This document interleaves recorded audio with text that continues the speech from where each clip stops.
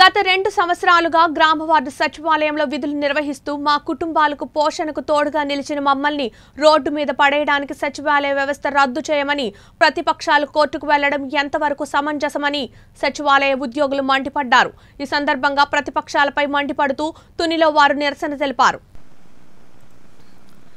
దేశానికి తలమానికంగా నిలిచిన మన రాష్ట్ర సచివాలయ వ్యవస్థ ద్వారా ప్రజలకు ఇంటి వద్దకే వెళ్ళి పరిపాలన అందించడం వైఎస్ఆర్ గవర్నమెంట్ చేసిన తప్ప అని సచివాలయ గ్రామ వార్డు సెక్రటరీలు ప్రతిపక్షాలు నాయకులను ప్రశ్నించారు.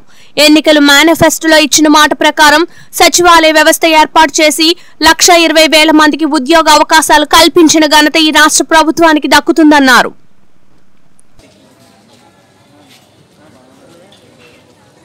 కొనసాగించాలి. సచివాలయ వ్యవస్థ కొనసాగాలి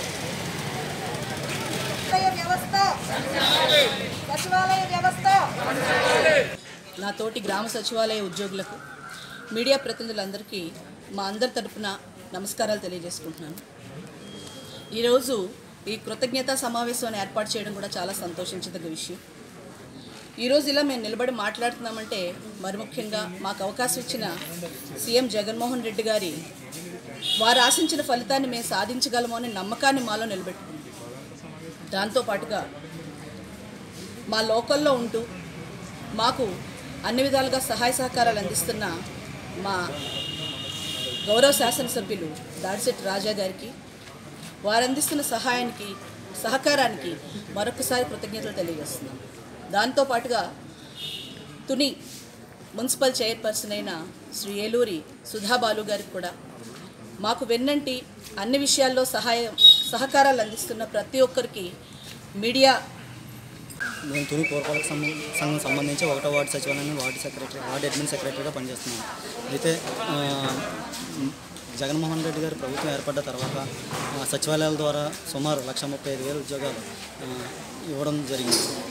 అయితే ఇదే ఈ సచివాలయాల ద్వారా ప్రజలకు అందుబాటులో ఉంటూ ఎన్నో సర్వీసులు అందిస్తున్నాం. అయితే దీని ఈ సర్వీసులు సచివాలయ త్వరలోనే రెండు సంవత్సరాలు పూర్తి చేసుకోబోతుంది ఈ నేపథ్యంలో సచివాలయ వ్యవస్థ గవర్నమెంట్ ఉద్యోగాలు కాదని కొంతమంది విమర్శిస్తున్నారు.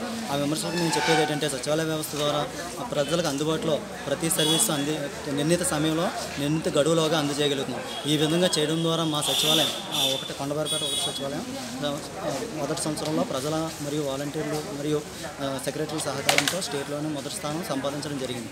ఇది ఇది పురస్కరించుకుని అక్టోబర్ రెండు అక్టోబర్ రెండు రెండు వేల ఇరవైన శ్రీ ఆ, గౌరవనీయులైన గారు మమ్మల్ని సన్మానించి మాకు ప్రశంస పత్రాలు ఇవ్వడం జరిగింది. అయితే ఈ ప్రజలకు సర్వీస్ ప్రతి సర్వీస్ వాళ్ళకి ఇంటి ముంగటిగా పట్టుకెళ్ళి ఇవ్వడం ద్వారా వాళ్ళ సచివాలయానికి రాకుండా రకరకాల సర్వీసులు అందజేయడం జరుగుతుంది. అయితే ఇటువంటి వ్యవస్థను విమర్శించడం కరెక్ట్ కాదని నా అభిప్రాయం. అయితే ఈ సర్వీసులు చేయడంలో సహకరించినటువంటి కమిషనర్ గారికి మిగిలిన మా స్థానిక శాసనసభ్యులు ఎమ్మెల్యే గారి ఆ, దర్శక్ రాజా గారికి తొలి పురపాలక సంఘ చైర్పర్సన్ సుధాబాలు గారికి ఈ ఉద్యోగ మమ్మల్ని ఇంతమంది రెండు లక్ష ముప్పై ఐదు వేల ఉద్యోగాలను సృష్టించి మాకు అందరికీ ఒక బతకడానికి ఒక ఆధారం ఇచ్చినటువంటి గౌరవ ముఖ్యమంత్రి శ్రీ జగన్మోహన్ రెడ్డి గారికి ప్రత్యేకంగా కృతజ్ఞతలు తెలుపుతున్నాను.